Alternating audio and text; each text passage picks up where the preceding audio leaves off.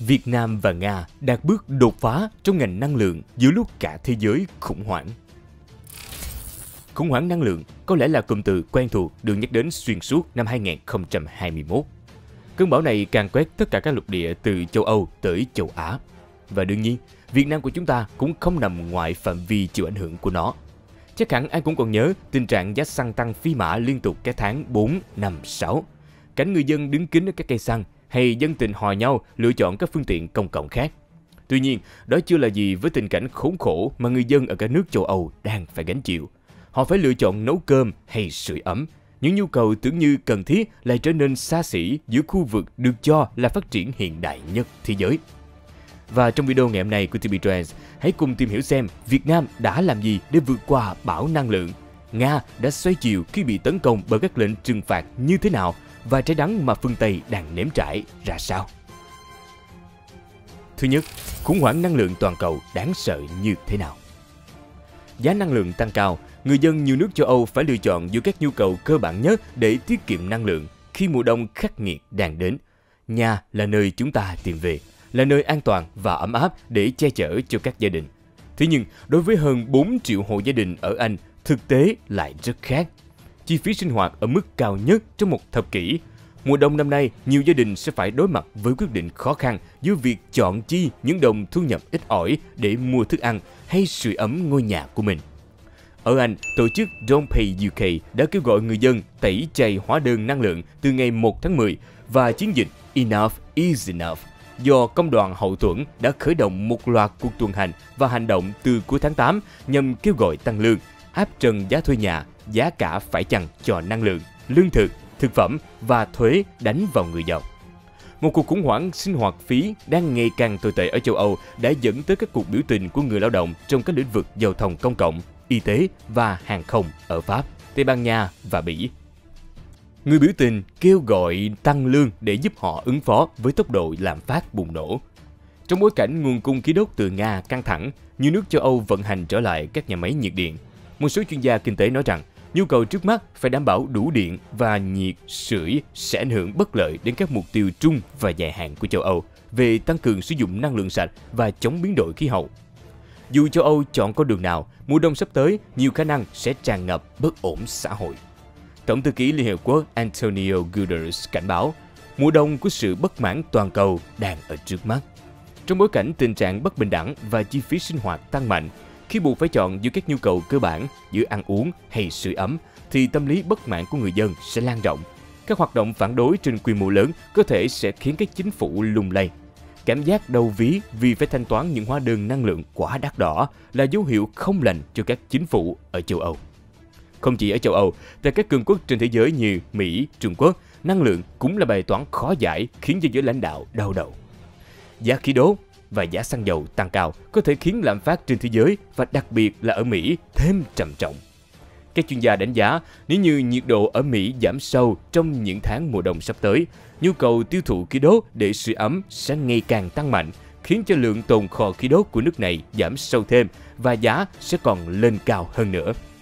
Giá khí đốt tăng cao có thể khiến lạm phát ở Mỹ thêm trầm trọng. Người tiêu dùng ở nước này đang phải trả nhiều tiền hơn cho hầu như tất cả các mặt hàng từ ô tô cũ cho tới xăng và thực phẩm. Lạm phát leo thang đang gây sức ép buộc Cục Dự trữ Liên bang Mỹ FED sớm cắt giảm chương trình mua tài sản và thậm chí phải tăng lãi suất từ năm 2022.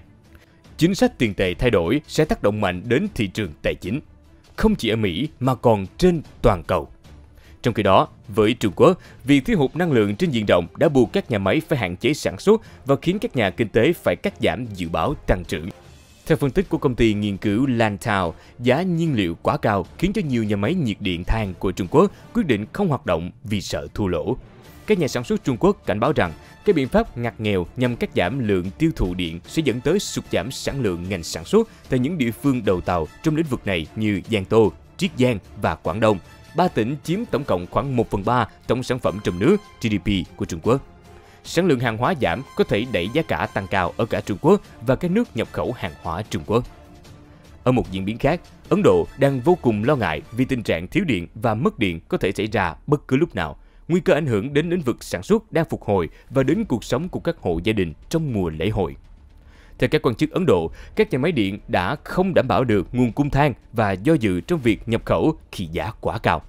Cơ quan điện lực trung ương của Ấn Độ cảnh báo rằng gần một nửa tổng số nhà máy nhiệt điện của Ấn Độ, 63 trong tổng số 135 nhà máy, có nguồn cung cấp than chỉ còn tương đương 2 ngày trở xuống, trong khi kho dự trữ đã cạn kiệt tại 17 cơ sở khác. Vậy thì ở Việt Nam thì sao? Khủng hoảng năng lượng đã ảnh hưởng đến đời sống xã hội nước ta như thế nào và chúng ta đã vượt bão năng lượng ra sao? Thứ hai, Việt Nam vượt bão năng lượng ra sao? Cũng như nhiều quốc gia khác trên thế giới, trong nền kinh tế Việt Nam, mặt hàng xăng dầu đóng vai trò rất quan trọng bởi vì hầu hết các hoạt động sản xuất và tiêu dùng đều cần đến xăng dầu làm nhiên liệu cho phương tiện giao thông, máy móc, thiết bị sản xuất năng lượng. Theo tính toán của Tổng cục Thống kê, chi phí xăng dầu chiếm khoảng 3,52% tổng chi phí sản xuất toàn nền kinh tế, chi cho xăng dầu chiếm 1,5% tổng tiêu dùng cuối cùng của các hộ gia đình. Chỉ số tiêu dùng CPI bình quân 8 tháng đầu năm 2022 tăng 2,58% so với cùng kỳ năm 2021. Trong đó, giá xăng dầu tăng 45,33% và góp phần làm tăng 1,63 điểm phần trăm của CPI trong 8 tháng đầu năm 2021. Mức tăng giá xăng dầu chiếm 63,18% mức tăng CPI của Việt Nam. Cứ tăng 10% giá xăng dầu sẽ làm cho CPI tăng thêm 0,36 điểm phần trăm. Thời gian qua, khi giá xăng dầu thế giới biến động tăng cao liên tục, các thương nhân kinh doanh xăng dầu vẫn chưa được trao quyền tự định giá. Nhà nước vẫn phải áp dụng linh hoạt các biện pháp điều hành giá để góp phần bình ổn giá. Nhìn chung, hoạt động bình ổn giá xăng dầu ở Việt Nam thời gian qua đã mang lại những kết quả rất đáng ghi nhận.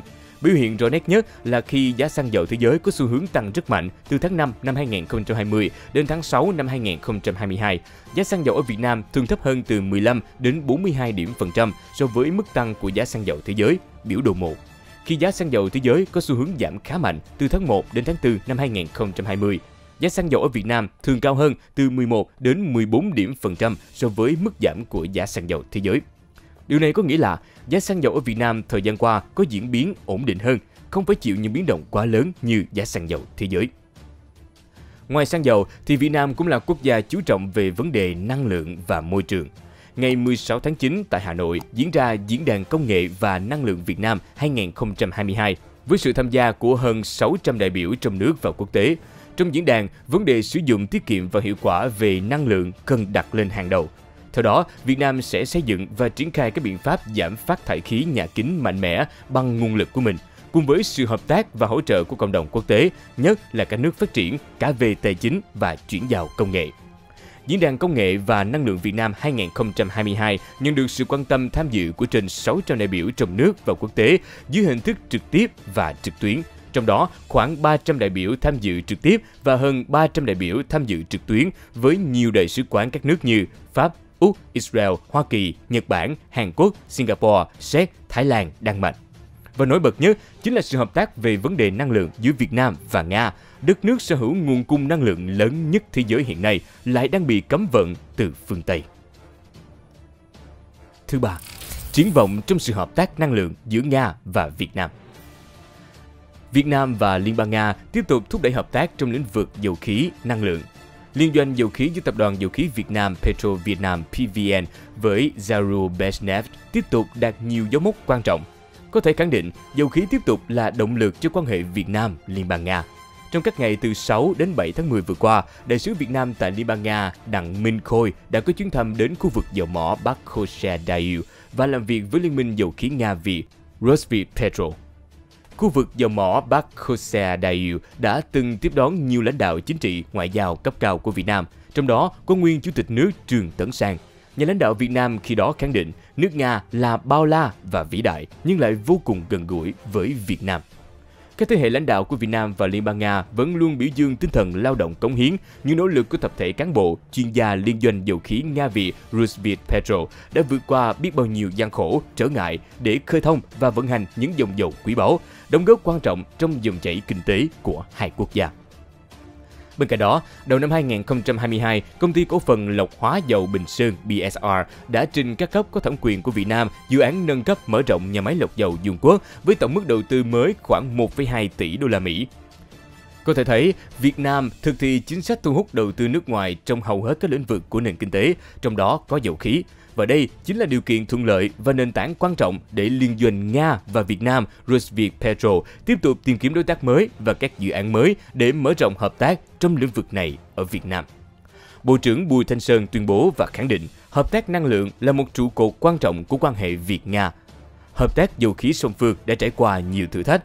Tôi có thể nói rằng không gì có thể đe dọa hoặc thách thức sự hợp tác của chúng ta trong lĩnh vực chiến lược này. Vâng, xin cảm ơn các bạn đã cùng theo dõi và đồng hành cùng với TB Trends. Hãy cùng để lại ý kiến của mình bên dưới phần bình luận cũng như tiếp tục theo dõi những chủ đề mới nhất trên kênh TB Trends nâng tầm kiến thức các bạn nhé. Còn bây giờ, xin chào và hẹn gặp lại.